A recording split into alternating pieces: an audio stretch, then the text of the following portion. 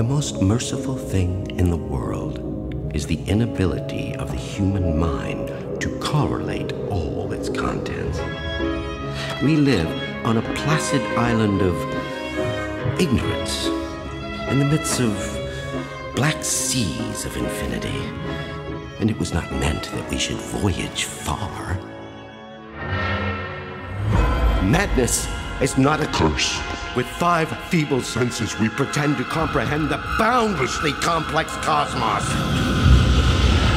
I have seen the dark universe yawning. The gods pity the man who, in his callousness, can remain sane to the hideous ah! end.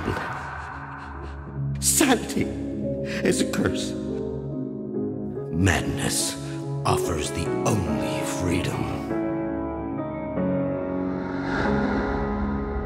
truth.